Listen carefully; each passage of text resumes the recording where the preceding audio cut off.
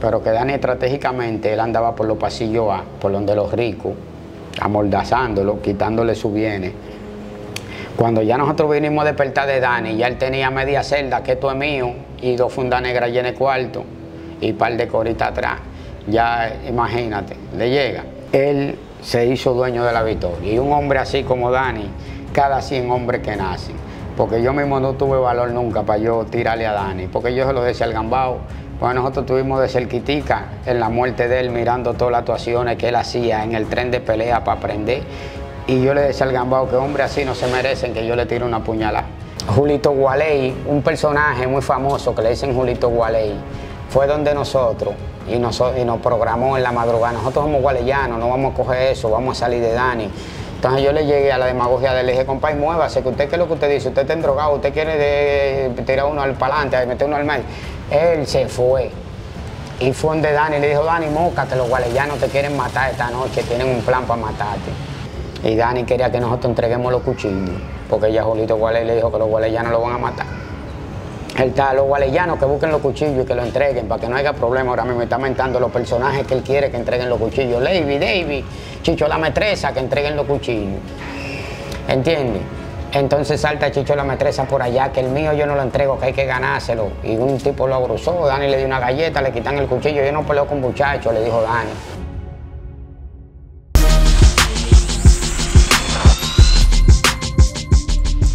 Ahí, ahí usted llega a la victoria de nuevo. ahí. Después de Najayo ahí fue para la victoria otra vez. Entonces, ¿qué vivencia tiene allá? ¿Tiene problema ahí? En la victoria, Sí. oh, claro, hermano. Ahí fue que hallamos la victoria Alibaba y los 40 ladrones. Ahí en la victoria sabía Díaz Pérez cuando yo llegué allá.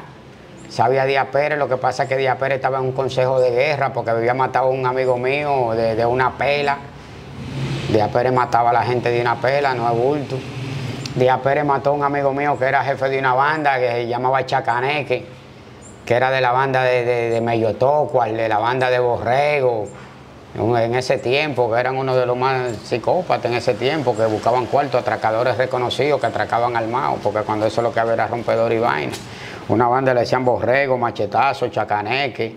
Ese fue que Díaz Pérez mató de una pela en la victoria a Chacaneque. Entonces estaba en un juicio, Díaz Pérez, un consejo de guerra.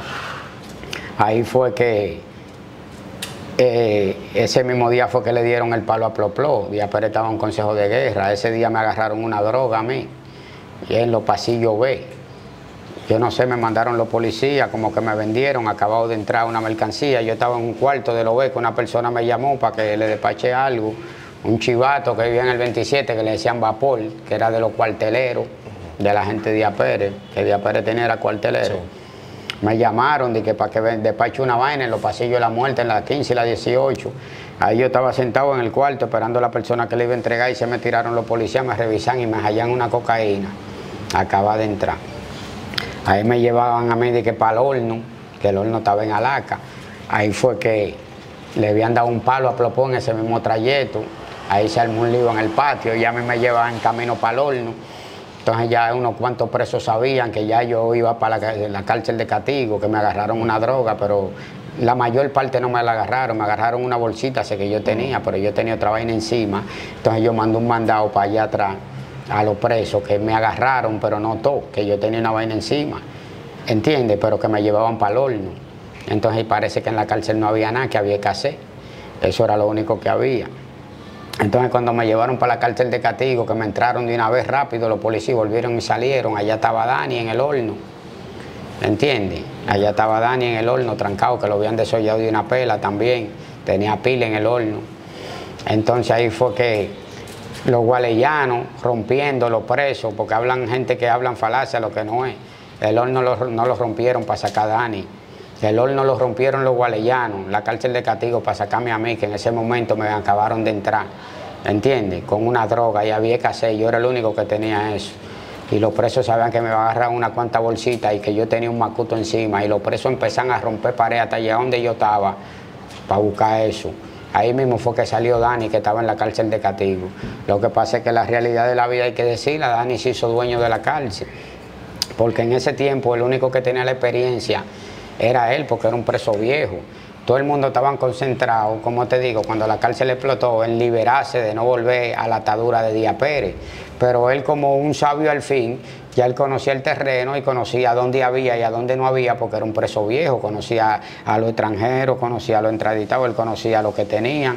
Él fue por donde esa gente y fue saqueándolo parte por parte hasta lograr su objetivo y, ya tener poder, porque uno no estaba concentrado en eso, uno estaba era puesto en un problema con la policía y no dejarlo penetrar, porque era peleando cuerpo a cuerpo y tirándonos tiros y nosotros devolviendo la bomba y, peleando con colcha y tirándonos tiros, nosotros tenemos que estar pendientes a, que la policía no entre, ¿entiendes? A sobrevivir ahí abajo, a no dejarnos matar, pero que Dani estratégicamente, él andaba por los pasillos A, por donde los ricos, amordazándolo, quitándole su bienes. Cuando ya nosotros vinimos a despertar de Dani, ya él tenía media celda, que esto es mío, y dos fundas negras llenas de cuarto, y par de coritas atrás. Ya imagínate, le llega. Eh, la verdad es dicha. Él se hizo dueño de la victoria. Y un hombre así como Dani, cada 100 hombres que nacen. Porque yo mismo no tuve valor nunca para yo tirarle a Dani. Porque yo se lo decía al gambao, pues nosotros tuvimos de cerquitica en la muerte de él, mirando todas las actuaciones que él hacía en el tren de pelea para aprender. Y yo le decía al gambao que hombres así no se merecen que yo le tire una puñalada. Porque yo vi la cantidad de hombres como cuando ese hombre aficaba el pie así, cómo corrían los hombres y se caían de su propio pie, sin él estar tirándole una puñalada. Él nada más afincaba el pie y los hombres se caían y se cortaban ellos mismos. A veces se cortaba usted a uno sin querer, huyendo, de que, ahí viene Dani sin venir nadie, del temor que le tenía. Porque Dani lo que en verdad dio la para, porque le tenían temor, porque él era abusador. Él no tenía conciencia. Él en una se le quitaba a la gente de la puerta y le decía para que la gente pase. Él le decía, vengan, que no ustedes que quieren, es a mí para que se unan al grupo, pero yo, tú sabes, el que intentaba salir por esa puerta, la su puñalada, eh, eh, tú tenías que decirle, no, yo muero contigo, para que él vea que tú eres fiel, y si en un descuido él roncaba, se, embalaban para el otro coro. Pero al que par de veces él se viró, él le dijo así a Santo Puya, a su compadre, al segundo, le dijo, Santo Puya, es a mí que me quieren, ven, únete a ellos, y se, orilló, pero yo sé que si Santo Puya intentaba pasar por ahí, él le iba a dar. Entonces Santo Puya fue inteligente dijo, no, Dani, yo muero contigo, yo soy el segundo, nosotros estamos en esto. Y Santo Puya se quedó ahí al lado de él. Pero que la realidad es que el pueblo no quería matar a Santo Puya, porque Santo Puya no se lo merecía, la muerte se la buscó Dani, porque lo de él fue buscado, porque él dudó hasta de la prensa, dudó de los canales de televisión, que fue a buscarlo Corporán, con el canal abierto un sábado, sábado de Corporán, fue a buscarlo el mismo Corporán con su libertad firmada en la mano y él pensaba que era chantajeándolo. ¿Entiendes? Él pensaba que no, que, era para trasladarlo, que era para matarlo.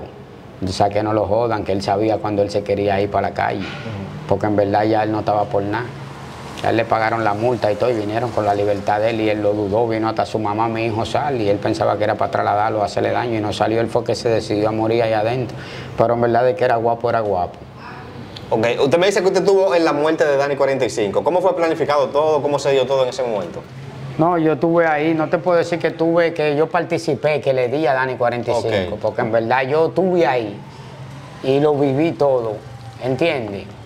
Yo lo viví todo de cerca, hasta que, hasta que él murió, hasta que él cayó, eh, porque yo fui uno de los contrincantes que todo el tiempo tuve de cerca.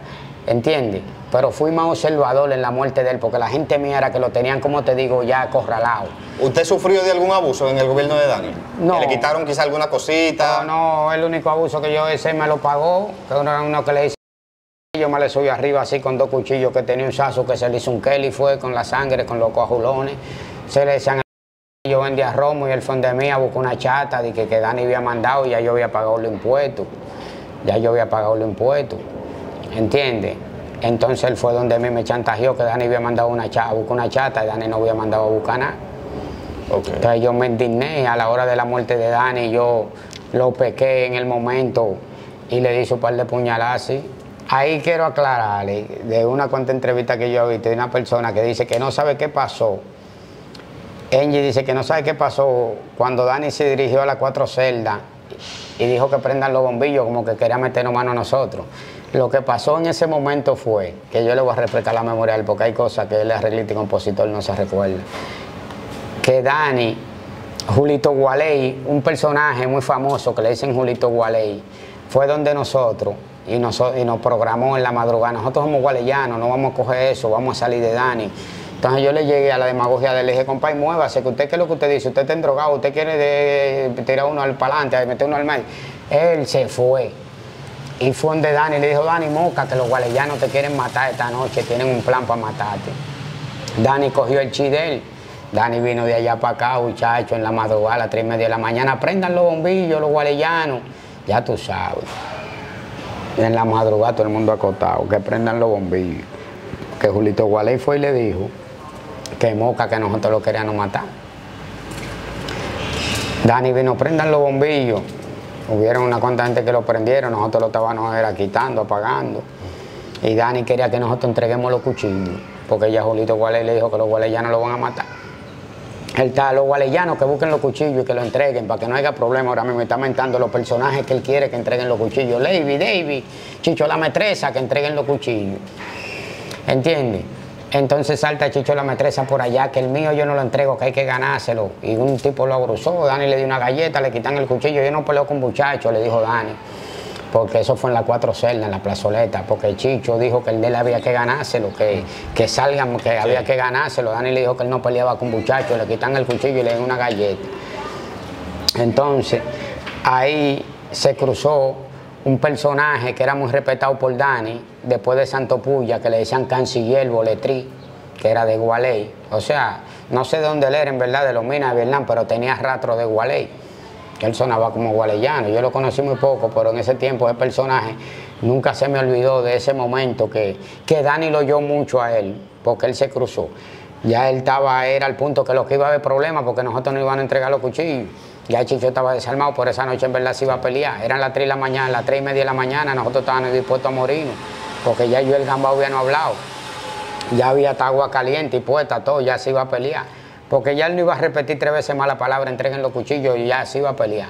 Entonces ahí intervino Canciller, uno que le decían boletrí, Canciller, que viene haciendo como el tercero, porque Dani lo respetaba mucho. Dice, no, Dani, estate quieto, que esta gente lo controlo yo, esos son menores, esos muchachos no van a contrapirar contigo. Esa gente sabemos nosotros, Dani, esos son muchachos nosotros, esa gente yo lo controlo, Dani, estate quieto, canciller. Mira, canciller, y Dani, y tú sabes, él le oía canciller, canciller, estate quieto, Dani, vámonos, que esos muchachos lo controlo yo, el mismo Santo Puyo, pero esos son muchachitos, esos son niños, esos son los que matan a uno. Nosotros estaban entregados ya que iban a echar pleito, que no iban a morir. El fin fue que Dani estaba endrogadísimo con dos cuchillos en la mano, que entreguemos los cuchillos. El fin fue que Santo Puya y Canciller le bajaron el ki. Dijeron, Dani, esos son muchachos de nosotros, nosotros somos, representamos a esos muchachos, nosotros nos entendemos con ellos, vámonos. Dani bajó la guardia y se fue. Está bien, yo me voy a acotar, ustedes son los que saben, Canciller, eh, Santo Puya, y me pasa algo, ustedes son responsables, y Dani se fue. ¿Entiendes? Nosotros nos quedamos discutiendo, eso fue en la plazoleta de la cuatro celdas, entre el medio de la 10 y la 9, la 11 y la 12. Ahí era que yo vivía, donde murió Dani. Nos quedamos discutiendo en el medio de la plazoleta, nosotros mismos los gualeyanos, pues ya Chicho estaba galleteado y entonces, ¿y qué pasó? Y que Santo Puya, no, estén tranquilos, que lo que estén drogándose para allá, yo me lo voy a llevar a contar y ya Dani va caminando. Entonces ahí estamos deduciendo, coño, ¿de dónde bajó ese chi? Y Dani que vino de que así, de que, y cuando calculamos mierda, Julito Gualey vino y nos dijo que vamos a matar a Dani, y nosotros le dijimos que no, que, se- que no estamos en eso, y fue donde Dani le puso un chique. ¿Entiendes? Vino una gente y nos dijo Julito Gualey, fue donde Dani, ahí mismo viene Julito Gualey caminando. ¿Entiendes? Y yo me fui en discusión con él, que es lo que tú dices, se me empantó y jalé de una vez y lo corté por ahí, por la batata. A Julito Gualey. No, él era rápido, nos tiramos un par de puñales y lo corté por ahí. Y una vez nos desapartaron, no hagan bulto, ustedes son gualeyanos, no peleen la gente, Dani va a volver para atrás, tú sabes que no puede haber cortado, no puede haber problema, Dani va a volver para atrás. El fin fue que ya se quedó todo así, corté a Julito Gualey porque él fue que trajo el chisme, él se amarró un trapo en la cortada y que para que no haga bulto, para que Dani no vuelva para atrás. El mismo Santo Puya, ya dejen eso así porque ellos estaban, se quedaron atrás cuando la discusión que yo corté a Julito Gualey. Dejen eso así, que Dani no se dé cuenta que se fue a acotar, que hubo problemas. Julito, tú eres un fresco, tú no tienes que dar programa a Dani, que esta gente no está en nada y tú vienes eh, para que te den droga, maldito vicioso, que si yo qué, se quedó todo así. Le amarran, le amarran un trapo en la cortada. Ahí fue que todo se quedó así. Le llega. Todo pasó nítido. Ajá, y ese es el momento que dice la, eh, Angie en la entrevista que él no sabe qué fue lo que pasó en la cuatro celdas cuando eso fue lo que pasó. Que Julito Gualey fue a programar a Dani, que lo iban a matar y después fue donde Dani y le dijo eso mismo. Ok. Eh, Angie en una entrevista dijo algunos comentarios. eh, ¿cómo, cómo usted lo vio? Oh, muy mal por parte de él, porque yo no esperaba que él iba a reaccionar de esa manera, de, de montarme así a mí, porque yo pienso que él porque él quiere ser arreglista y compositor, que él está arrepentido de, lo, del pasado, de su trayectoria, pero que él en una quiere ser héroe y en una se pone como víctima, eso es lo que me enfurece, porque la persona tiene que ser leal, yo nunca lo he mencionado a él, y él de la forma que se refiere hacia mí es como con una ira, porque yo no sé qué monstruo viejo él quiere despertar en mí, porque yo no sé por qué él está tan irado, que él se siente con tanto orgullo de que él quería darme, él quería, pero no pudo, ni Dios lo permitió, ¿entiendes? Porque él dice que él quería darme porque él era quien me conocía mi maña, porque él quería darme porque quería ponerse ese rango que él sabía quién era yo. ¿Entiendes? Porque yo no veo la justificación. Mira lo que le pasó a su compañero, pero que eso que él juzga, que él no tuvo, que él le dicen, lo han mal informado. Porque fue que su compañero, en verdad, no fue por ningún roce de que, que me habían matado a mi compañero, ni que, ni que era compañero de él. Lo que le pasó, lo de. Le pasó fue para que él tenga en conocimiento que él abusó de la confianza de mí, de, de, mi, de mi otro compañero que está vivo, que me voy a reservar el nombre, por, por integridad, porque es un hombre serio ya que dejó el mundo atrás y está buscando de Dios. Y hay que respetar, ¿entiendes? Porque cuando uno se dirige a una persona tiene que irse con respeto, nunca puede faltar el respeto, ¿entiendes? Porque yo no soy ningún traicionero, eso se lo buscó porque él fue conmigo y con mi compañero al alto, donde unos cuantos amigos, ¿entiendes? Nosotros fuimos como amigos al alto, donde unos amigos, y después él fue solo y lo encañonó y lo atracó y se llevó la prenda y se llevó la droga en un punto. Entonces yo, nosotros nos sentimos traicionados porque después yo volví y me querían meter mano a mí porque me dijeron que yo llevé ese tipo fue para que lo atraque y no fue así. Yo andaba con él como amigo por el alto, le presenté a Raúl, le presenté a Par de Gantel y después fue solo y lo atracó. Le quitó la cadena a Raúl, le llevó la droga. Entonces después yo fui al alto y me querían jugar a mí a mi amigo, que fuimos que lo llevamos, que nosotros le llevamos a una persona para que lo atraque y para que lo mate. Entonces nosotros ah, es así. Entonces el abuso de la confianza de nosotros, cuando lo volvimos a ver, que hablamos con él que porque él hizo esto, él lo que no vino fue con alumbrándonos con la vaina, con la vaina en la mano, que el que hace coro con él, que lo que él dice eso es que él no hubiera, no nos hubiera visto, pero que la parte de nosotros que él la tenía ahí, que el que está con él tiene que hacer lo que él diga, que mira la parte de nosotros ahí, o sino que nosotros somos lo que sabemos. ¿Entiendes? Él abusó de la confianza de nosotros y nosotros no bregábamos así. Nosotros lo llevamos al alto a él donde unas amistades a buscar un tabaco para fumar, que no tenía no hierba en ese momento. Y él lo que hizo fue que después que regresó con nosotros, él fue y se le llenó los ojos con lo que vio en ese sitio y él fue y lo atracó a todo en el alto, ¿entiendes? Entonces nosotros nos caminamos así. Después nos estaban diciendo como que nosotros vendimos a esa gente para que él lo atraque. Mm. Entonces cuando nosotros le llamamos la atención, él lo que no vino fue con una alta. Yo me expreso así, porque él admite que en su mandato esa persona admite que cuando él ha tenido la responsabilidad de representar un gobierno y pasa algo bajo su mandato, que él asume a la responsabilidad porque ya pasó bajo su mandato. Entiende que toda la consecuencia, todo lo que pasó en su gobierno, él dice que él lo admite con responsabilidad y asume la responsabilidad porque fueron bajo su mandato. Entonces, como yo te digo, esto es mundo tiguerial. Yo no me orgullezco de nada, pero tampoco me arrepiento de lo que he hecho, porque todo el que ha caído debajo de mi desgracia, debajo de mis decisiones cuando lo he tomado, porque se lo he ganado, yo no me arrepiento, porque así se oye de una forma más moderada, ¿entiendes? Porque cualquiera cae debajo de unas decisiones, como cayó mi compañero debajo de sus decisiones. ¿Qué pasó con una guagua que mandaron de Najayo para la victoria de Tralado? Que el, el topito bajó de la guagua un gualeyano y le dijo a él, a Angie, que los gualeyanos habían venido a coger control. Él lo mochó a todito de en Posado, mochó a Esteban, a Boquinaria, el Alberto, un amigo mío, mochó a Marco Yuya, casi a todos los gualeyanos lo mocharon en Posado, que vinieron una guagua que vino de Najayo para la Victoria, lo mocharon a todito en Posado y nadie dijo nada. Y él admitió su responsabilidad porque eso fue bajo su mandato. Así mismo la muerte de mi compañero David Gambao, que lo mataron en Posado ¿Entiende? Él admitió que él no le dio, pero fue bajo su mandato y él admitió su responsabilidad porque fue bajo su mandato de su gobierno, porque eso es lógico. Entonces, así mismo, ni me orgullezco ni me arrepiento de mis decisiones que yo tomé, porque yo creo que fueron merecedoras, porque yo le di a cada cual lo que se merecía. ¿Entiende? Porque esto lo teca, al que le toca, le toca. ¿Entiende? Esta es la realidad de la vida. Porque le tocó, a, David le tocó decisiones que tomen bajo mandato. A, Esteban le tocó a los que bajaron de Najayo para la victoria, le dieron en posado y no pasó nada. Eso fueron decisiones que se admitieron porque fueron bajo su mandato. Entonces yo no puedo entonces admitir que tú el que cayó bajo mis decisiones, yo no me arrepiento, tampoco me orgullezco como digo, pero tampoco me arrepiento, porque son problemas de tigre, experiencia vivida, ¿entiendes? Que lo teca, que cuando me toque me tocó. ¿Entiendes? Yo creo que cuando me toque el que lo haga no se va a arrepentir porque sabe por qué lo va a hacer, o por qué me va a dar, o por qué esto. ¿Entiendes? Entonces, el que caiga bajo mi desgracia, bajo mis decisiones, yo no me puedo arrepentir, yo no me arrepiento de nada. ¿Entiendes? Y estamos aquí, gracias a Dios. Con la fuerza de Dios estamos vivos y Dios no tiene pie de guerra. Exacto. De David el, Gambao, ¿no puede hablar un poco? Oh, claro. David el Gambao es un personaje que era la cara de Gualey en ese tiempo, en ese momento, cuando la cárcel era cárcel, después de la muerte de Dani, cuando la muerte de Dani era el papá de muchos tigres en Gualey, porque era que representaba a Gualey. David Gambao era una persona que peleó hasta por el mismo Angie, representándolo a él, porque era el que lo representaba todito. ¿Entiendes? Porque él era en verdad la cara de Gualey. Lo que pasa es que tú sabes que siempre hay celo de poder y gente que tienen el deseo de ser, que no tienen la bola para ser. Lo que tú eres nunca te van a ver bien, siempre te van a ver mal. Entonces, aún gente que están atrás de ti, que tienen que adaptarse a las decisiones que tú tomes, ¿entiendes? no te van a ver bien, pero tienen que adaptarse a las decisiones que tú tomes. Eso es lo que pasa con esa persona. ¿Entiendes? Con Angie, que él tenía que adaptarse a las decisiones que tome el gambao, que tome yo. Entonces eso le chocaba. incluso una vez a él le agarraron una droga allá en la cárcel de la Victoria y él, el coronel mandó a buscarlo. Entonces como el coronel mandó a buscarlo, me mandaron a buscar, me mandaron a buscar a David porque eran la cabeza para que lo entreguemos.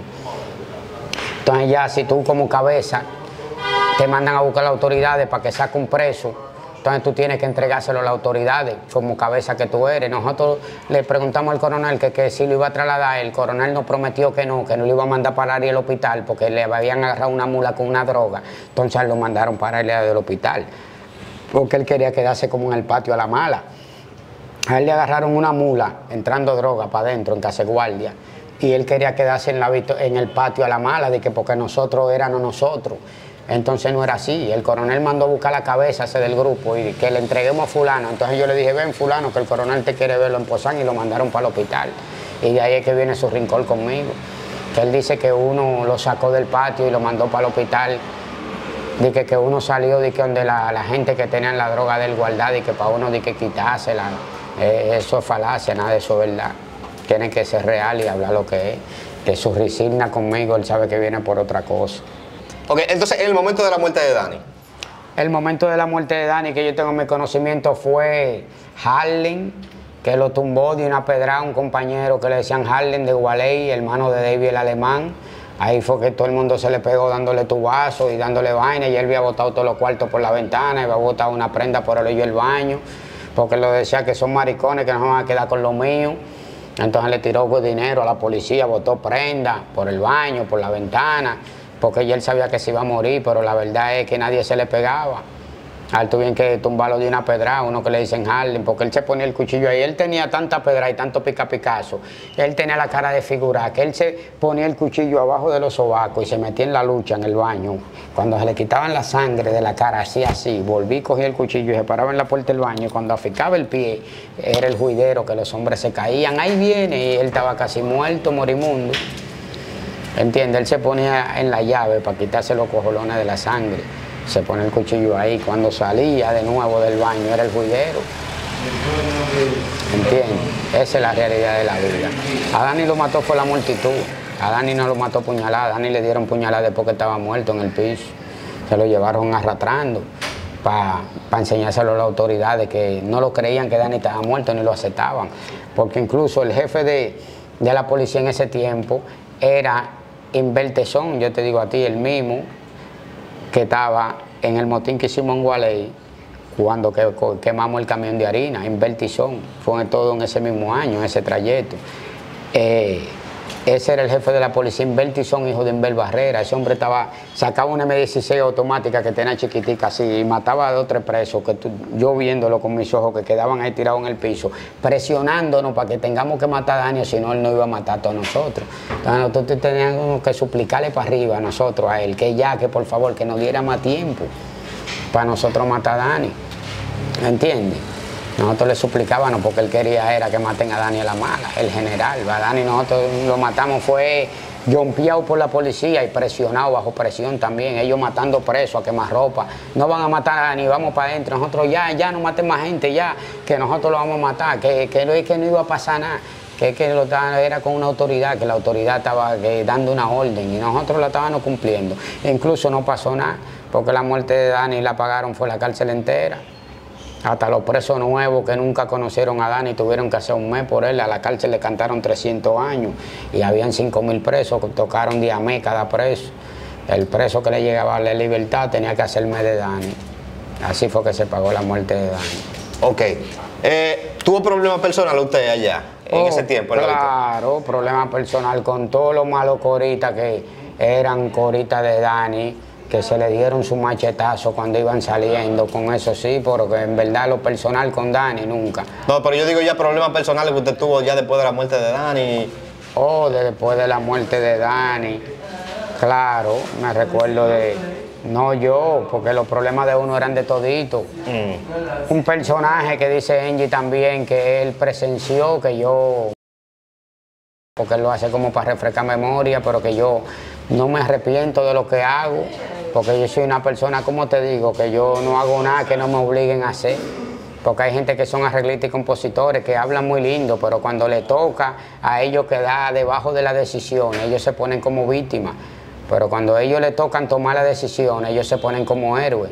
Pero así mismo yo admito, o sea, y reconozco que todo el que cayó bajo mi desgracia, que yo tuve, como te digo, no me siento orgulloso, pero de todo el que yo me siento que soy responsable, yo lo asumo con responsabilidad porque yo no hago nada que no me obliguen a hacer. ¿Entiendes? Hay cosas que yo la hice que no me arrepiento porque se lo merecían. ¿Entiendes? Esa es la realidad. ok. Eh, luego de la victoria lo traslada de ahí, de ahí. Oh, de la victoria hubieron mucho traslado porque cuando la muerte de Dani, ahí fue que después que ya Dani estaba muerto, nosotros nos quedamos con la pámpara prendida y dijimos que, que ya nadie iba, iba a controlar porque ya nosotros vimos la experiencia de Dani. Entonces nosotros nos decidimos que nadie nos iba a controlar. Ahí la victoria estaba silvestre, ahí sobrevivía el que tenía más valor, porque ya no había control. Ahí fue que Alberto quiso ser la cabeza. Él lo fue, en verdad, porque Alberto es un líder, pero quiso ser la cabeza. Pero él lo fue después que nosotros nos sacaron de allá, porque estando nosotros allá no pudo brillar. Porque incluso él estaba un día en el comedor, también ella habló de eso en su entrevista, que no sabe lo que pasó con Alberto en el comedor. Él se hace el loco, él sabe lo que pasó, que nosotros fuimos al comedor, nos fueron a buscar unos cuantos infelices que estaban abusando con la comida, se estaban llevando la, carne, los policías, los tiguerones, y nosotros con autoridad, como teníamos, nos sentíamos que teníamos la bujía para medir fuerza o para chocar con quien sea, porque no teníamos miedo, y lo que hacíamos lo hacíamos atento a nosotros. Nosotros cogimos un conjunto de gualeyanos para el comedor a ver lo que estaba pasando, porque los presos se estaban quejando que estaban dando chin comida y eran los mismos presos que estaban dando la comida. O sea que ya habían presos después de la muerte de Dani que estaban copiando y querían ponerle que orden, ya pasé cabeza. Estaban arreglando la cosa, ya pasé cabeza, como pasé control. Entonces estaban abusando, dando chin de comida en el comedor, dando palos. Ahí fue que vinieron y nos lo dijeron. Miren, el comedor que están dando chin comida a los presos, lo están macaneando, los presos se están quejando. Ahí fue que nos dirigimos al comedor. Yo le dije a Alberto que estaba dando la comida, que me dé el cucharón, que yo iba a dar la comida. Y Alberto fue inteligente, él no vio las intenciones, que estaban a lo que diga el otro. Yo nada más tuve que decirle dos veces que me dé el cucharón y él me lo dio. Tengan, ustedes son los que saben, yo no voy a joder con ustedes. Y me dio el cucharón porque él me conoce, Alberto. O sea, nunca tuvimos ni un cine, no, ni amigo ni enemigo, pero él sabe que yo soy una persona que todo el tiempo estaba de frente. Como dice Angie, que en todos los malos coros que, que pueden haber existido en la cárcel, que yo estaba, porque es la realidad. Porque donde yo estaba, yo me sentía que yo estaba. Donde yo estaba, yo me sentía que yo estaba. Porque yo todo el tiempo representé a mi barrio. ¿entiendes? Me siento orgulloso de que soy de la Cañita, que soy del 24 de abril, de la 10 con Central, y ha representado a su barrio como ellos no lo han representado. Porque mientras yo tuve la fuerza en la victoria, nosotros por un rana de nosotros, por un infeliz, durábamos semanas peleando con contingente de hombres, que los problemas no se acababan, por un infeliz de lo de nosotros. Pero hubieron gente que se sienten ser líderes o dicen que son líderes, pero ¿a dónde que son líderes? Eh, si nunca han representado a su gente, lo que han hecho es abusar de su gente. Porque yo prefiero traicionar a uno y no traicionar al barrio, porque siempre uno tiene problemas personales. ¿Entiendes? Yo prefiero traicionar a una persona y no traicionar a mi barrio. Oíste, como él dice que yo lo traicioné o que yo traicioné a Junior Mandarina, pero no he traicionado a mi barrio porque estoy en mi barrio y estoy vivo. Yo no soy de Gualey, yo soy de la 10, pero ¿dónde yo vivo? Yo vivo en la 31 con 16, donde él nació. ¿Y a dónde está él? Yo estoy aquí todavía guerreando. ¿Y por qué no me, no me ha pasado lo mismo que le pasó a... ¿Por qué no me ha pasado lo mismo que le pasó a, que, a los abusadores que le pasan cuando abusan en la cárcel? Y yo entro a todos los barrios, yo voy a la 42, yo voy a Guachupita, yo me meto a todos los lados. Y me han visto pila de gente que han tenido problemas conmigo y no me han agredido, los que han reconocido que yo soy un hombre. ¿Entiendes? Porque yo cuando tuve que hacerlo con alguien lo hacía de frente. Nunca abusé de él ni le di a hombre amarrado. Por lo menos su compañero, como él dice que yo lo traicioné, que le dije que me deje la pistola de él, él tenía la mano suelta, que pudo defenderse. Y mi compañero, que tenía la mano amarrada, que lo mataron en Posado. A mi compañero lo mataron en Posado, en la Victoria, con la mano amarrada y él no pudo hacer nada. Entonces yo no digo nada, ni para mí nadie es traicionero. Hay gente que para mí no existían y hacen que uno se enfoque en ellos. ¿Entiendes? Gente que ya está me había olvidado de esos problemas, no tratando de que su vida cambie, de dejar el hombre viejo atrás. Y hay gente que despierta monstruos. Yo no tengo que salir huyendo para ningún lado, yo estoy aquí. ¿Entiendes? Y aquí lo que tú haces malo, tú lo pagas aquí. ¿Entiendes? Porque hay muchos tigres que salen de la cárcel, la semana se mueren por las actuaciones de lo que hacen allá adentro. Lo que hay que quedarse a a ver cuáles son los traicioneros, cuáles son los puros que yo estoy aquí. No es lo que le pasó a, los, a Pacheco por puro y lo que le pasó también, como te digo, a este que salió, que era puro también. Que me olvide el nombre, que lo tengo ahí, man. Pero nada, siga concluyendo, hermano, para seguirle respondiendo, que hay cosas que no valen la pena. Sí. Eh, ¿El problema más grande que usted tuvo ayer en La Victoria? Oh, el problema más grande que yo tuve fue como te digo, los mercaderos, eso fue lo que nos pusieron más a sudar porque eran la mayoría, nosotros éramos siempre la minoría. Nosotros éramos la minoría ellos eran la mayoría. La última vez que nos sacaron fue por una escalera que tuvimos que subir, que no pudimos pelear porque Alberto se encargó de virarnos la cárcel entera, a los pariguayos, al infeliz y todo. Un simulacro fue lo que hicieron para que nosotros creamos que este es el penal virado. Y nosotros no imaginamos eso, ya estábamos rompiendo los candados para pelear, fue que la policía intervino, de que para que no haya derramamiento de sangre. Y tiraron una escalera, de que para que nosotros subamos. ¿Entiendes? Eso vino fue ya después que ya me dimos la fuerza con Alberto, que nos dirigimos hacia el comedor y yo le quité el cucharón y dije que nosotros íbamos a dar la comida, que él era que daba el chavo y él me, no se resistió, la verdad hay que decirla. Él está consciente que él no dio el cucharón y ustedes van a dar la comida, tengan, yo no quiero problemas. yo empecé. Bueno, Alberto tampoco ha sido una persona de que de no, problemas. No, yo no, porque él no ha sido, como te digo, él no es y es. Porque cuando ha visto que resuelve, la ha resolvido, porque Dani le debe la vida, le debió la vida a él antes de matarlo, él se la salvó porque tampoco se puede sujetimar, porque es lo único que tiene que que su, su sexo, su sexualidad, no, que, son cosas ¿entiendes? Pero de aparte de eso, una bella persona como hombre, porque cuando tiene que decirle de otra verdad, cualquiera se lo dice, porque yo estoy claro de Alberto. Porque yo no te voy a hablar falacia. Alberto es una persona reta, lo único que él con su vaina. No, no, eso no, eso no es incuestionable. Entiende, él con su vaina, pero una persona todo el tiempo sincera. Lo único que nunca compartimos en la cárcel por esa misma vía. Mm. El compañero mío nunca y yo tuvimos esos roces que nos gustaban esos coros y él todo el tiempo tirándonos de bocaditos, de que como éramos menores y vaina, pero nosotros nunca pasamos por ahí, por el apocentro de Alberto. Los caminos de nosotros lo hicimos, abrimos, lo, abrimos nosotros, atento a grano, no fue contando con gente. Entonces, el, el, problema más grande allá que, que tuvieron ustedes, me dice con los mercaderos, Sí, con los mercaderos, porque esa era la mayoría, no, el problema más grande que nosotros tuvimos allá, me recuerdo yo que fue por un pantalón que el compañero mío, eh, el pulpito, un hermano del compañero mío, David Gambao, que le decían el pulpito, que estaba allá preso, estaba en vicio, muchacho, y, y le robaba a cualquiera, le robó un pantalón, una bermuda que tendió para ponérsela al otro día de visita a un psicópata de Villacanzuelo que le decían, roba el papeleta el hermano del compañero mío le robó una bermuda, robó el papeleta, ya tú sabes, que estaba por la muerte de una embajadora, que sí yo qué, que era compañero de, yo creo que era de Julio César, Sí, el sí. pastor. Chacho, le robó una bermuda y para qué fue eso, cuando fueron esa gente para las cuatro celdas buscando al pulpito de que para matarlo. Y el compañero mío, tú sabes, son hermanos, jaló con esa gente, con tal matacaballo de, de- de- de- del mercado, con Edila Piraña de la 28, con Robert Papeleta, con, con esa manada, con un tal Ronald, que fue un personaje también de Villa Consuelo, le decían Ronald, que lo mataron. Eso fue cuatro horas nosotros peleando con esa gente, por esa bermuda que el pulpito les robó que ya fueron a matar al pulpito y hacer a que se corría a la cárcel, hasta por un rana, por cualquier sencillez, ya ahí estaban los tiguerones metidos en el problema. Porque que ahí se vivía de uno representar a su gente, Sí. que si tú eras de lo mío, nadie te puede tocar, tú tengas la razón. Había esa lealtad. Claro, porque se han vivido otros momentos. En la victoria hubo un momento que se vivió de unos falsos líderes, porque digo yo que eso eran falsos líderes, que yo no sé cómo era que eran cabezas que sin representar su barrio, porque ellos eran cabeza de un barrio, pero sabía otro barrio, ¿entiendes?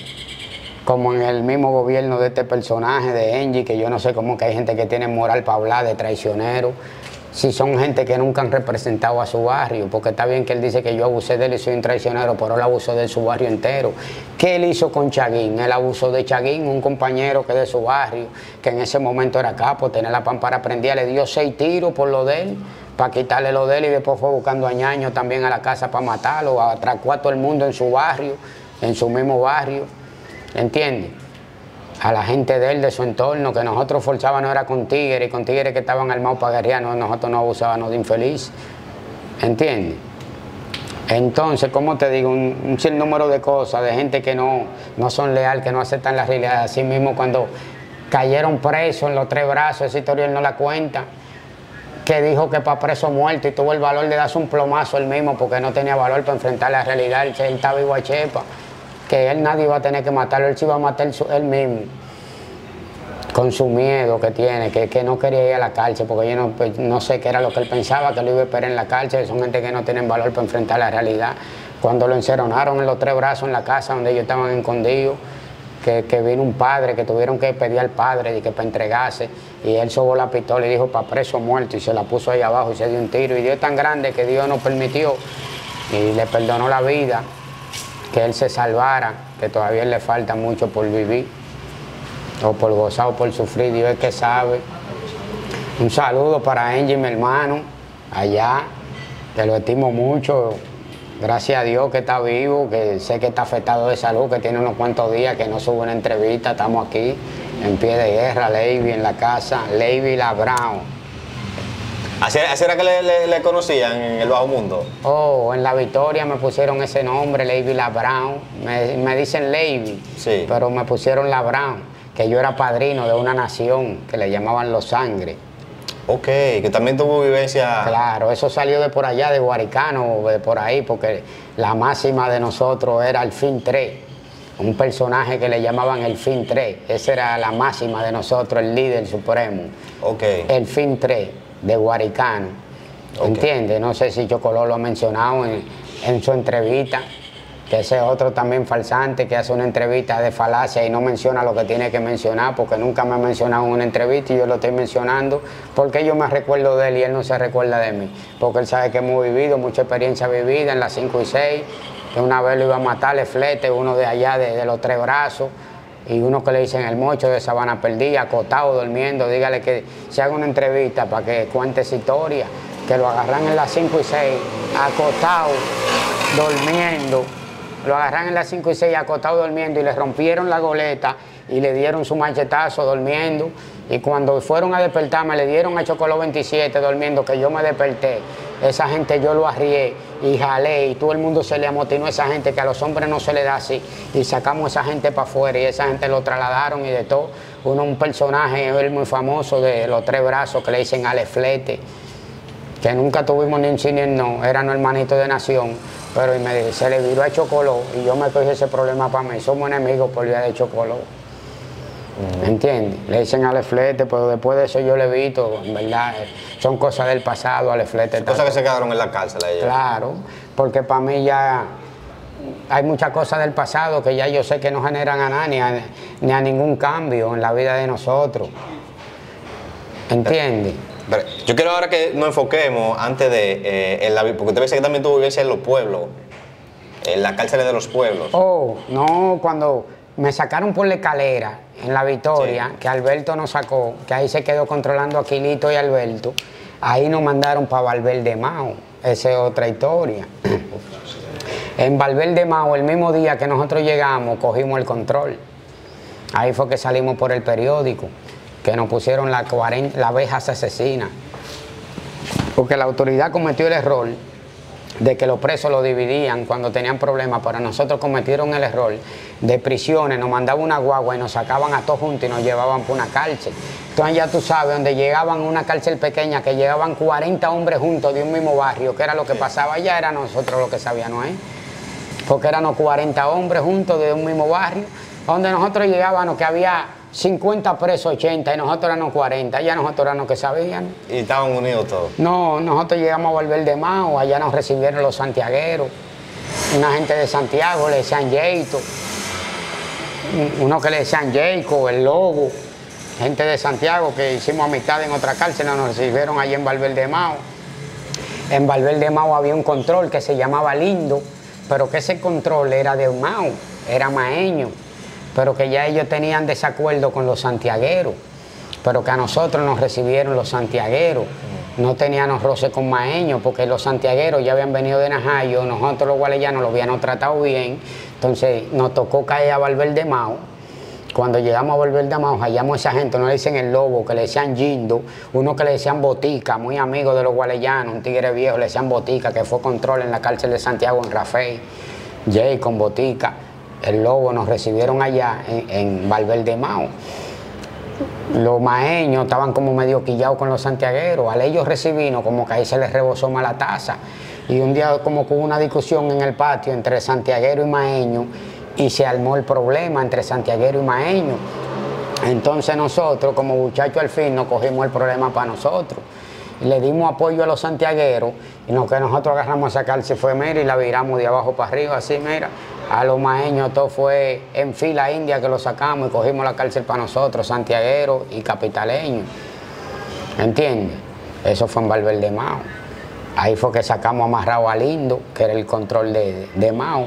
Ahí cogimos el control los santiagueros y los capitaleños. Ahí estrechamos más la mitad, hasta que duramos como dos meses ahí en Valverde Mao, de ahí volvían y nos trasladaban. Entonces nos mandan para Monte Plata, que era una cárcel de castigo, una cárcel cerrada, que te daban 15 minutos de sol y volvías para dentro de tu celda. Por celda era que abrían, no dije 15 minutos para todo el mundo, era abrir la celda 1, 15 minutos para el patio, a los 15 minutos tranca la celda 1, abre la 2, 15 minutos, o sea que nunca se juntaban los presos, para ellos no tener multitudes, Sí. Eh, era por celda que daban sol. Ahí llegamos a esa cárcel en ese tiempo que el coronel era el coronel Puello. Cuando dije que llegan, cuando llegaban de que esa celda era de que busca la celda tal y Busca la celda tal, a palo, era una fila de policía abajo. Te decían busca la celda 26, la celda 26 estaba arriba, la última. Ellos te decían busca la celda 26 y te empezaban dando palos desde la 12. Entonces tú empezabas a subir a bajar y tú no sabías cuál era la 26.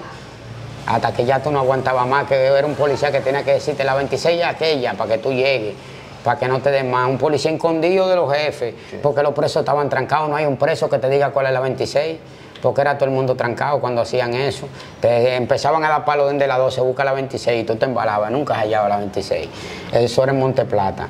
Ahí llegamos, no sé, me recuerdo si Pitimincina estaba y estaba peculiar, un cierto número de tigres, porque ahí en ese momento estaban mandando era todos los controles que controlaban en las otras cárceles y lograba la policía agarrarlo, lo mandaban para ahí y lo trancaban por celda. Era trancado, no le daban sola la gente, daban 15 minutos por celda.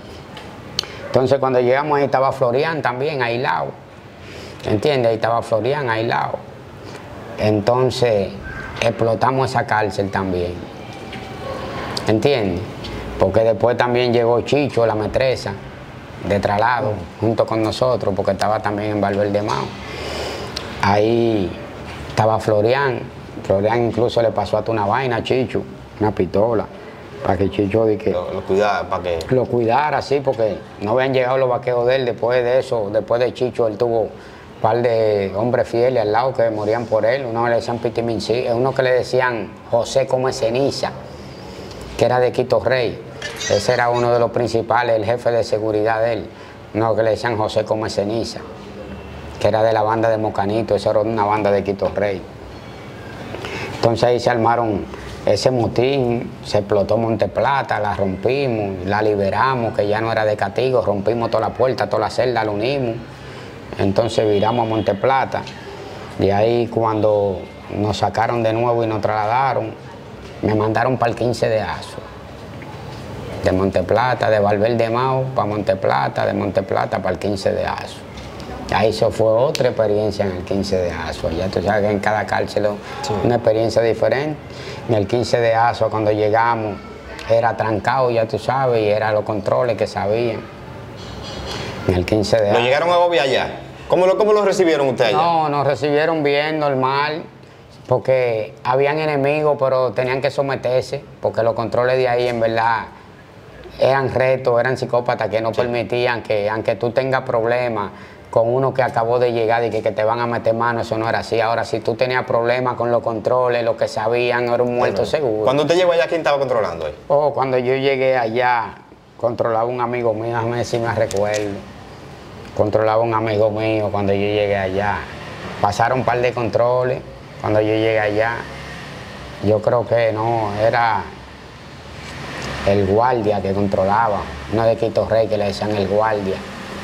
Allá en el 15, yo creo que sí que era el guardia que controlaba, porque hace muchos años Ok. hace muchos años. Pero fue una experiencia corta también, porque en el 15 de ASO también hubo problemas y no tuvimos que mover de ahí rápido. Ya no duraba nada. Yo lo más que duraba era un mes en una cárcel, ya un mes era demasiado. Que le explotaban de una vez. Oh, que sí, porque era que nos en, mal- eh, eh, en multitud. Y donde nosotros llegábamos, era un equipo que de una vez nos enfocábamos en lo que sabían, en salir de eso rápido. Estos son los que saben, a este que hay que darle para salir rápido, cuando la puerta te abierta en visita, cuando la visita está entrando, le damos a este, y ya después que estemos allá afuera, la policía tiene que posarnos hasta que nos llegue el traslado, ya no nos van a meter más para adentro. ¿Entiendes? Así era que uno estaba. La cárcel más incómoda que usted llegó a hacer. Oh, la cárcel más incómoda que yo llegué a estar en el 15 de Asua, porque una cárcel como que tenía una maldición que todo el que salía de ahí volvía y la repetía. Eh, tiene como un misterio. Una cárcel lejos, que nadie va a visitarte. Incluso, pero una cárcel que tuve mucha experiencia, porque ahí fue que tuve el primer hijo mío, en el 15 de Asua, que fue la mujer y salió preñada, y el hijo mío tiene 22 años, gracias a Dios. Esa es la, esa es la más incómoda para allá. Oh, para mí, el Monteplata y el 15 de Aso son las más incómodas porque son cárcel cerradas que tú no ves la luz del sol. Una cárcel que te den 15 minutos de sol y vuelvan y te metan para la celda. Que tú no veas un carro pasar, que tú no ves el cielo. Cuando tú ves la claridad, tienes que taparte la vista porque te molesta. Son cárcel malas porque te afectan a la salud. Exacto. No voy a decir la cárcel más cómoda porque. que No, la no, la le voy a decir que. no- le voy a preguntar cuál es la cárcel más cómoda porque va a sonar irónico. No, la porque no hay cárcel cómoda. la ¿cuál- comodidad la- la hace uno mismo. La menos incómoda. La menos La incómoda. menos incómoda la victoria, porque en la victoria tú ves a todo el mundo, tú ves tu gente, hasta el que no va a verte a ti, ya tú te sientes bien y eso te ayuda a relajarte y a hacer tu cárcel. Y está aquí mismo Porque por lo menos, no me, aunque no me vaya nadie a mí, ya yo veo mi vecina, veo mi vecino que va a ver su hija, veo la mujer del compañero que yo la vi chiquita, ya eso me relaja la mente.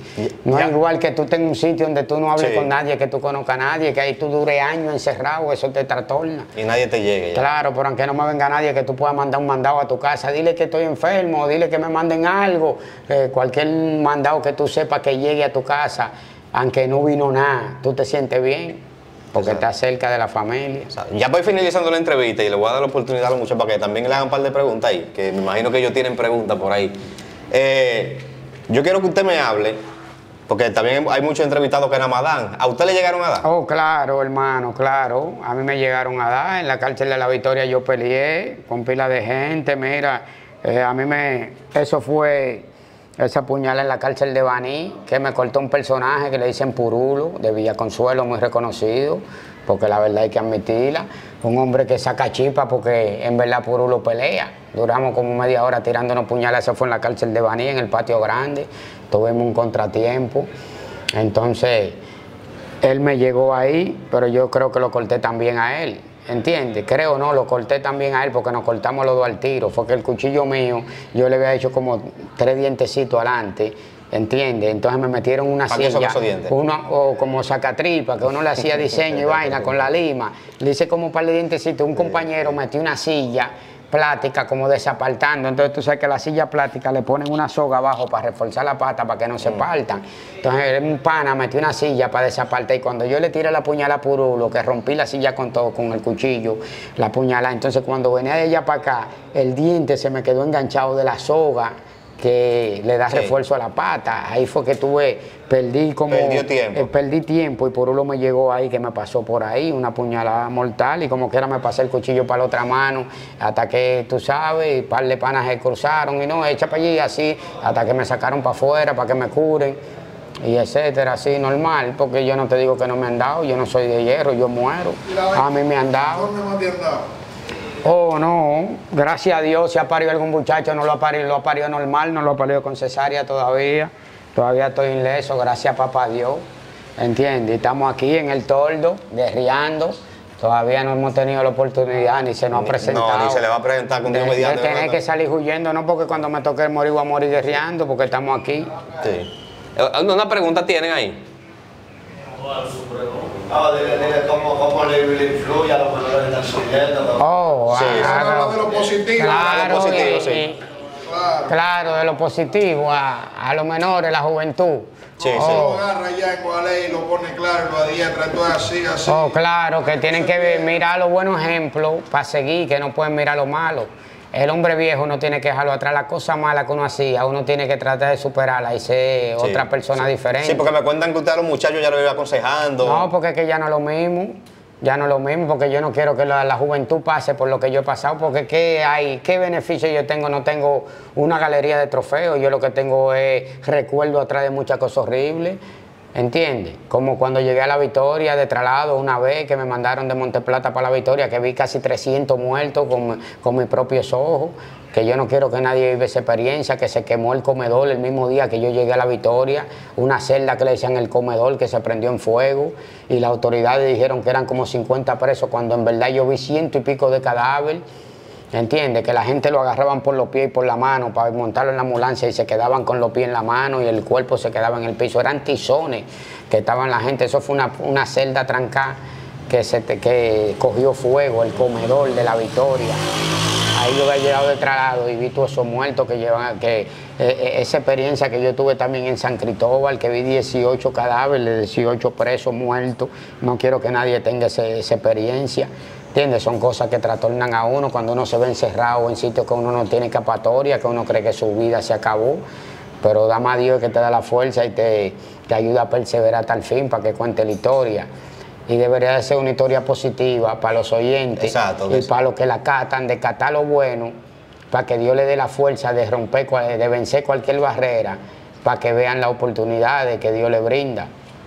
¿Entiendes? Porque aunque uno se ve envuelto en cualquier acto delictivo, o a veces uno se ve envuelto en una condena que tú crees que el mundo se acabó, da más Dios que tiene la, sol- la solución de los problemas y Dios es que te ayuda a vencer cualquier barrera. No importa que la condena tuya sea de 20, que sea de 30, que sea de 15, porque yo hice 15 años, mejor me pasé con 4 meses.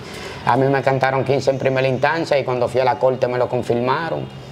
Y yo caí con mi compañero y gracias a Dios mi compañero se perdió en la cárcel, pero yo salí vivo.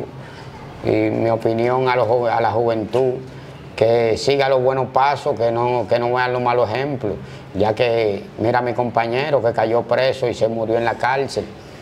Entonces, como te seguía diciendo, que esta persona, lo vi que ha dicho que aquí la gente de que, que se hace entrevistas, de que por dos mil pesos, de que por, por unos tenis, de que tampoco aquí estamos en eso. Yo no tengo necesidad de hacerme entrevistas de que por dos mil pesos ni unos tenis, yo tengo mi familia y yo tengo, yo tengo mi diligencia hecha, gracias a Dios. Yo no hubiera salido al aire porque mi familia me tenía convencido de que no quiere que yo haga controversia, que yo salga de que no me interesaba salir en ninguna plataforma, pero ya me veía obligado a responder a esta persona que ha mencionado mi nombre en varias entrevistas, ya que él no estaba en mi mente, de que yo quiero decirle, como te digo a la juventud, quiero dar un buen ejemplo de que ya no soy la misma persona, que uno tiene derecho a cambiar. Entiende que yo estoy respondiendo a una cuanta entrevista que me ha hecho Angie, pero no es que yo soy la misma persona, porque uno tiene derecho a cambiar. Que los jóvenes de Gualey tienen que buscar oportunidades, entiende, y seguir su escuela, que no pueden mirar para atrás, mirar los ejemplos de uno, lo que uno hace, lo que uno ha hecho, porque son cosas que lo lleva a la perdición, a la cárcel o a la muerte. Entonces la gente tiene que construir su futuro a largo o corto plazo para que pueda ver su familia crecer. Que el deseo mío no es que ningún joven, ninguna juventud pase por lo que yo he pasado. ¿Entiendes?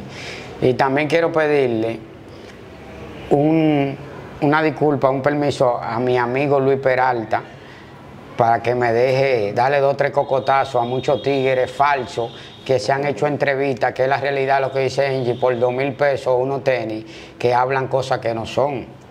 ¿Entiendes? Porque el interés mío no es de yo hacer expectativa, ¿entiendes? Porque yo no soy de ningún canal, yo estoy cantando una experiencia vivida y quiero que la juventud que dé paso a seguir, no que mire para atrás. ¿Entiendes? Por ahí cosas que hay que responder. Que no me gusta de gente que vienen a hacerse entrevistas y hablan lo que no es, que se ponen como héroes. Gente que lo que hacen es que lo que fueron malos coritas en la cárcel todo el tiempo. Esas son actitudes que no las comparto. ¿Entiendes? Un número de gente que falacias que no me gustan porque en verdad esta misma persona el tal Nacho 90 es eh, un personaje falso que yo nunca lo he visto y yo soy un hombre que ha andado casi todas las cárceles del país. Porque a Nacho que yo conozco, a Nacho 40 de Lomina, ¿entiendes? A Nacho de Lomina que yo conozco, ¿entiendes? Que es amigo mío personal, tengo muchos años que no lo veo, porque la última vez que me trasladan de las 5 y 6 fue un domingo por la mañana que él entró en conteo y a macheteó a Ricky Naval acotado, que ellos tienen problemas. Ricky Naval y él, y entonces veo que sale por los medios un tal Nacho 90, de que, él sí, con una historia falsa, que se deje de eso, que el verdadero Nacho, el minero, que, de- que Dios lo tiene vivo, que muchos saludos para él, que lo queremos mucho, es el verdadero personaje, que ese sí no anda en falacia, ni tampoco dando entrevistas, pero nosotros los verdaderos, los verdaderos tigres sabemos cuál es el verdadero Nacho y cuáles son los que son. Quiero darle un saludo a Juan La Pila, un saludo a Piti Mincina, un saludo a un sinnúmero de gente que yo sé que la han vivido y que, y que, y que la han aplicado. ¿Entiendes? Y un saludo a José, lo donde quiera que se encuentre, el campesino José lo el sanjuanero, que sabía en el 15 de Asua, que estuvo allá conmigo en mi celda en las 5 y 6. No tuve la oportunidad de estar con él en el 15 de Asua, pero fue una bella persona cuando tuvimos las 5 y 6. ¿Entiendes? Que él era barbero allá, un, un hombre sano, después fue que su vida cambió, que se volvió otra persona cuando llegó al 15, pero era una persona normal allí en La Victoria. Recuerdo también a estos personajes que no lo mencionan casi, una leyenda que está muerta, dicen Paticoleña, del 27 de febrero, no que le decían Paticoleña, el marido de uno de los muchachos de, de, de Engie, de Manaco. Este personaje también, a Tito Pinza del 27 también, que eran personajes, como te digo, personajes que eran leyendas de verdad. La aplicaban. Sí, un amigo mío que le decían Esteban también, del Espallá, que le duela a quien le duela, ese era el que le aplicaba en el Espallá, ese era el que sabía, Esteban, ese era el que quitaba y ponía, le decían Boquinari, que ese no lo mató nadie, eso lo mataron los tumores, ese lo mató Dios, porque ese se murió fue de cáncer, eh, porque batalló con el cáncer hasta que se fue para el mundo de la verdad. Donde quiera que esté, que Dios lo tenga en gloria, Esteban Boquinari, ese era mi hermano. ¿Entiendes? Porque hay muchos tigres falsos que salen a los medios buscando controversia y buscando vaina que en verdad. A Chiquito Collar también yo lo conozco, que desde muchacho también en la cárcel, en su trayectoria de la cárcel, estoy sorprendido con él, que ha visto pila de entrevistas con él. Y a Angie, mi hermano, muchos recuerdos que para adelante y que siga continuando con su plataforma que está creciendo que muchos saludos y que recuerde que yo no soy chiquito collar, que sepa cómo me va a responder a mí. También tengo entendido que usted quiere iniciar una plataforma de, de- YouTube, ¿cierto? ¿Va a incursionar en, en la plataforma de YouTube? Oh, claro, yo tengo en proyecto abrir mi canal más adelante para que mis seguidores me sigan, porque yo también, yo sé que ya por vía de esta plataforma, Luis Peralta TV, un hombre muy conocido por el pueblo, yo sé que esto, esta entrevista la ven mucha gente y muchos seguidores míos se van a activar y me van a seguir. Como debe de ser. Yo más luego, en próxima entrevista, les voy a dejar un número y voy a tratar de abrir mi plataforma para tener mi canal en YouTube, para incentivar a la juventud de que dé paso a seguir y de que no miren hacia atrás, de que no miren el pasado, que tienen que mirar hacia adelante, que vean una persona como yo que ha tenido tanta contrariedad en la vida, que hizo 15 años preso y que Dios le dio la oportunidad de prevalecer hasta que llegue el final y de guardarme en sitio tan horroroso, hasta te darme la oportunidad de nuevo de ingresarme a la sociedad para que yo exhorte lo- la experiencia vivida que he vivido. ¿Entiendes? Le doy gracias a Dios que Dios me ha guardado, que duré 15 años preso y 4 meses y estoy en la calle de regreso, gracias a Dios, y con, con fe de seguir viviendo y, y de dar paso a seguir. Como debe de ser. Claro. Ya para finalizar la entrevista, ya un mensaje final para los jóvenes. Oh, un saludo para los jóvenes de, mi sector de Gualey que se programen en su estudio y que se pongan mejor en la música, en los deportes y que no miren la calle, que la calle no deja nada, la calle nada más te lleva al cementerio, a la muerte o al hospital, que en la calle no hay nada, que den paso a seguir, que está mirando que, como te digo, en estos tiempos ya la- las tradiciones han cambiado, que antes nosotros lo- lo- los hijos enterrábamos a los padres. ¿Entiendes? Cuando se morían de viejos y entonces ahora los padres nos están enterrando jóvenes a nosotros porque ahora ya nosotros no vemos los padres morir, ahora son los padres que nos entierran a nosotros, ya que ya la juventud no llegan a los 18 años, que eso da pena, cuando tú vas a la morgue a, retirar un cadáver de un pariente, de algo, de un amigo, que tú ves eh, esa cantidad de, de jóvenes, que da más jóvenes y jóvenes por todos lados, que además son la juventud que se están perdiendo, que la juventud tiene que reflexionar y, la, y tienen que cambiar y concentrarse más en leer la Biblia para que Dios le abra el entendimiento y sean personas de bien. Como debe de ser. Como debe ser. Bueno, vamos a dejar la entrevista hasta aquí. Amén, amén. Eh, de verdad, hermano. muchas gracias por el tiempo. Levi, mejor conocido como ¿Cómo? Levi Labrao. Levi Labrao, Levi Gualey. Claro. Suscríbete al canal y activa la campanita de notificaciones.